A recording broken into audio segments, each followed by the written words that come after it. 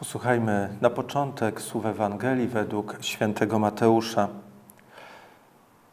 Jezus począł czynić wyrzuty miastom, w których dokonało się najwięcej Jego cudów, że się nie nawróciły. Biada Tobie Korozain, biada Tobie Betsaido, bo gdyby w Tyrze i Sydonie działy się cuda, które u Was się dokonały, już dawno w worze i w popiele by się nawróciły. To też powiadam Wam. Tyrowi i Sydonowi lżej będzie w dzień sądu niż Wam. A Ty, Kafarną, czy aż do nieba masz być wyniesione? Aż do otchłani zejdziesz. Bo gdyby w Sodomie działy się cuda, które się w Tobie dokonały, przetrwałaby aż do dnia dzisiejszego. To też powiadam Wam, ziemi sodomskiej lżej będzie w dzień sądu niż Tobie. Cuda, właśnie te cuda, tak wiele ich czynił Jezus Chrystus. Cuda, które dokonywał, ale też dokonuje obecnie, aby objawiło się to wielkie dzieło Boże, także i w naszym życiu. Przecież każdego dnia prosimy Pana Boga, modlimy się chociażby modlitwą pańską Ojcze nasz. Ale czy dziękujemy? Dziękujemy za to, co dokonało się. Dzięki wierze, dzięki modlitwie, przede wszystkim Jezusowi Chrystusowi. Jeżeli będziemy częściej dziękować, dostrzegać nawet te drobne Boże interwencje w naszym życiu, to jeszcze bardziej będziemy wielbili Pana Boga. Cuda w naszym życiu wokół nas, Boże cuda. I ten chyba najpiękniejszy spośród wszystkich, którym możemy uczestniczyć każdego dnia, codziennie, to Eucharystia, Najświętsza ofiara, Msza Święta. Cud ponad cuda. Jesteśmy przecież ludźmi religijnymi, ale to nie wystarczy. Mamy być ludźmi religijnymi, ale też i żywej wiary. O tą wiarę także się modlimy. Wiarę, która ukaże nam cuda, ale też pomoże naszym nawróceniu. Spotkanie z żywym Bogiem, z żywym, prawdziwym w Eucharystii. Jezus walczy o nas.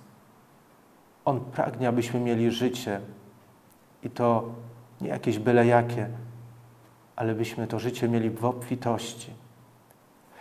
Dlatego wspomnę o pewnym wydarzeniu z więzienia, gdzie posługuję. Pewien chłopak, trzydziestoletni, trafił do więzienia wcześniej, około bodajże pięciu lat, jak wspominał, nie uczęszczał do kościoła na msze święte. Twierdził, że jest y, ateistą. To nie takim zwykłym, bo kpił sobie z tych, którzy chodzili na mszę świętą.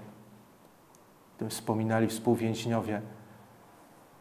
Pamiętam go dobrze. On też kilka tygodni temu przyszedł z wolności na kawę i przypomniał, kiedy była kolenda w więzieniu i każdy otrzymywał różaniec, obrazek z Jezusem miłosiernym. On wtedy podziękował. Powiedział nie. I nie jest potrzebny. Zgromadziliśmy się na mszy świętej w niedzielę wielkanocną ubiegłego roku. Patrzę, a pod ścianą, na samym końcu, na krześle siedzi ów trzydziestolatek. Jest na mszy świętej. Tydzień później również jest na mszy świętej. Dwa tygodnie po tym jest y, okazja do spowiedzi świętej. To była sobota kończąca mm, tydzień miłosierdzia. Zaproszony jeszcze ksiądz Mariusz, który okazało się, że jest wikariuszem z parafii, gdzie jeszcze wtedy uczęszczał ów chłopak na mszy święte. Poszedł do spowiedzi. Tydzień po spowiedzi to właśnie on siedzi w pierwszym rzędzie, półtora metra od żywego Boga, Jezusa Chrystusa. Ten wojujący chłopak. Rozmawiamy, co się stało. I on powiedział wprost: Przyszedłem na mszę świętą. Wcześniej miałem wszystko w głowie poukładane, ale jakąś pustkę. Kiedy wyszedłem z tej pierwszej mszy świętej w niedzielę wielkanocną, pustki nie było, ale wstąpił pokój i radość. Msza święta, spotkanie z Bogiem, cud ponad cuda. I Jezus dokonuje dzisiaj tak wiele cudów.